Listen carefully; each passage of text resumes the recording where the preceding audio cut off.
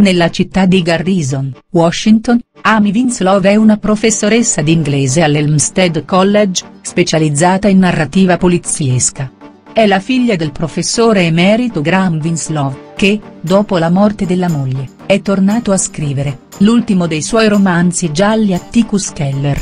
Viene a sapere che il suo capo, il professor Miller, spera che lei assuma la presidenza del dipartimento quando lui andrà in pensione. L'interesse di Amy e del suo assistente Bod per la narrativa poliziesca si trasforma in crimine reale quando credono che uno dei suoi studenti più appassionati, Lacey Daniels, e il suo fidanzato Rex Sandford siano scomparsi, Amy che alla fine riesce a convincere la polizia di Garrison che un crimine è stato effettivamente commesso. I detective Travis Burke, un recente arrivo Garrison da Chicago, e Claire Tate, una ex studentessa di Amy e figlia del capo della polizia, vengono assegnati all'indagine in parte a causa dei legami con il college e dell'interesse di Amy soprattutto per il benessere di Lacey, il capo Tate permette sia ad Amy che a Bond di lavorare all'indagine, Bond e assistere Claire nel banale lavoro di revisione di due settimane di filmati di sorveglianza, mentre Amy sarà formalmente assegnata come collegamento con il college per assistere Travis nel lavoro sul campo.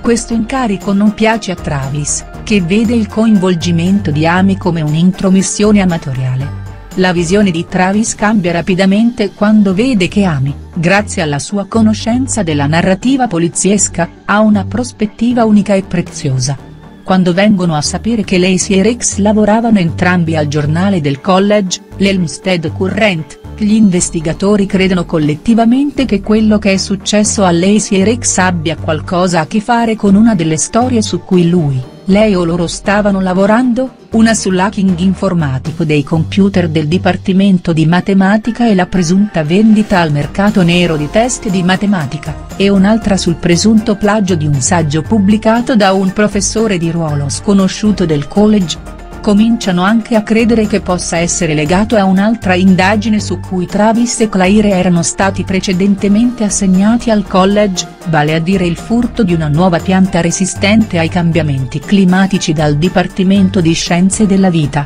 che potenzialmente vale milioni sul mercato aperto. Mentre sembra formarsi un'attrazione reciproca tra Amy e Travis, Graham, a cui non piace il coinvolgimento di Amy, vuole qualche assicurazione da Travis che lui terrà Amy al sicuro da chiunque ci sia dietro questi crimini della vita reale.